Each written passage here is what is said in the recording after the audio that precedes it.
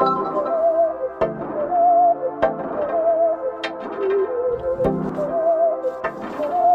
Guys कैसे हो आप? आई होप अच्छे होंगे। तो गाइस आप हमारे बारे में कुछ नहीं जानते होंगे बट आपको हम बता दें कि हमारी लाइफ का फ़र्स्ट ब्लॉग है, जो कि आज मैं बनाने की कोशिश किया हूँ।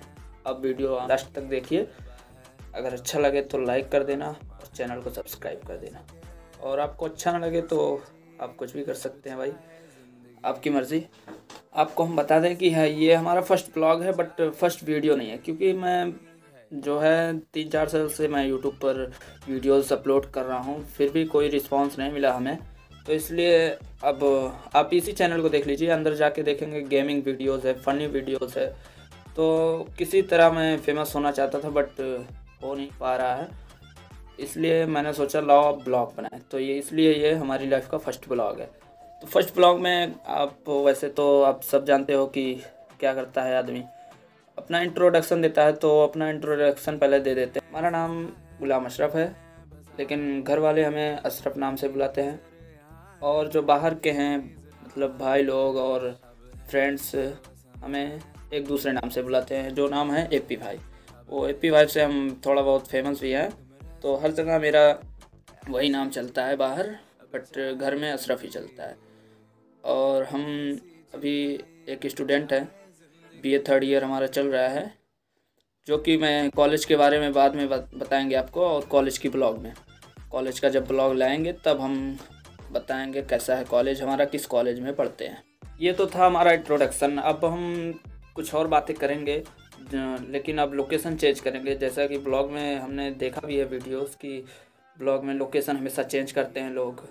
तो चलिए, फिर दूसरी लोकेशन पर चलते हैं। सो है गाइस अब आ चुके हैं हम दूसरी लोकेशन पर। आपको मैंने एक बात नहीं बताई थी कि मैं एक गाँव से बिलोंग करता हूँ। जिसका नाम नहीं बताऊँगा, मैं आगे किसी ब्लॉग में बताएँगे। तो मैं गाँव से बिलोंग करता हूँ तो आप ये देख पा रहे होंगे, ये खेत में हम। समझ रहे हो ना? खेत में हम ये जो मैं खा रहा हूँ, ये मटर है। इसको मटर बोलते हैं। मटर की दाल जानते ही होगे। तो भाई मैं अपना खेत दिखाता हूँ और आगे बहुत अच्छी अच्छी चीज़ें दिखाऊँगा मैं आगे ब्लॉग्स में जब अगला ब्लॉग आएगा। तो अगर शहर से लोग हैं, आप शहर से हैं तो अगर आपको अच्छी अच्छी वीडियोस देखनी है तो चैनल को सब्सक्राइब ज़रूर कर लो यार।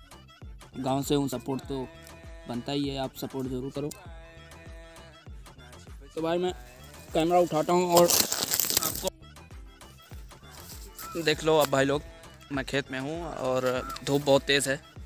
आप देख सकते हो। ये अपना ही खेत है। ये हम बता दें किस चीज़ को जो सरसों का तेल नहीं निकलता, सरसों का तेल इसी से निकलता है भाई।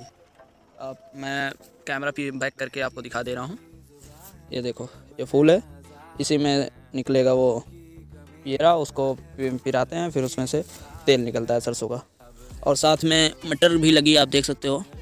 मटर लग गई है। इसमें दाने भी आ चुके हैं आपको दिखा देते हैं फोड़ के। ये देखो दाने आ चुके हैं भाई। दाने ये खाने में मस्त लगता है। हम्म, मस्त लगा।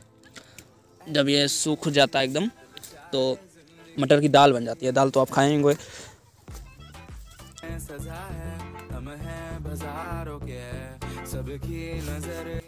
तो भाई लोग आप को मैंने जो भी फ़सल दिखाए आपको अगर अच्छा लगे तो लाइक कर देना, क्योंकि आप, मैं गाँव से हूँ तो जो लोग शहर से होंगे, वो लोग शायद ये सब देखने के लिए कुछ सोचते होंगे बट कोई दिखाता नहीं है। मैं आपको दिखा रहा हूँ तो गाँव से हूँ। आप सपोर्ट ज़रूर करना भाई। आगे मैं बहुत अच्छी अच्छी चीज़ें लाने वाला हूँ आपको। ये फ़र्स्ट ब्लॉग था तो आप फ़र्स्ट ब्लॉग में अब ज़्यादा कुछ नहीं दिखाया जा सकता। तो भाइयों, अब आती है ब्लॉग को ख़त्म करने की घड़ी, क्योंकि भाई जो भी था हमने दिखा दिया भाई। जो ब्लॉग कभी नहीं बनाया था, पहली बार बना रहा हूँ तो कैमरे को सीधा नहीं देख पा रहा हूँ इधर उधर देख रहा हूँ तो इसके लिए सॉरी और आगे से अच्छे अच्छे ब्लॉग आएँगे आपको। और जो मैं अटक रहा हूँ बोलने में, ये सब एक्सपीरियंस हो जाएगा तो मैं भी अच्छा बन, बनाऊँगा वीडियोज़ आपको अपने शहर की क्या, अपने शहर में जो भी मशहूर हैं, वो सब चीज़ें दिखाऊँगा आपको। गाँव में क्या क्या होते हैं अच्छे अच्छे चीज़ें। मशहूर हैं, जो आप कभी नहीं देखे होंगे, वो वो चीज़ें दिखाऊँगा मैं। तो जो लोग शहर से हों, वो सपोर्ट ज़रूर करो भाई। गाँव वाले तो वैसे भी देखते हैं, गाँव में, गाँव के लोग खुद ही देखते हैं, खेती करते हैं। गाँव वालों भाई, आपका भी सपोर्ट चाहिए भाई, लेकिन ये मैंने बोलने में गलती कर दी कि शहर लोगों का सपोर्ट चाहिए, ऐसा नहीं है। सभी का सपोर्ट चाहिए हमें, आगे बढ़ने के लिए तो एक दूसरे को सपोर्ट करना ज़रूरी है। तो भाई, अब मिलते हैं अगले ब्लॉग में। और इससे अच्छे ब्लॉग में ये फ़र्स्ट ब्लॉग था, आपको कैसा लगा आप कमेंट में ज़रूर बताना भाई। तो नमस्कार, सत अलैक्म सभी लोग को, आदाब।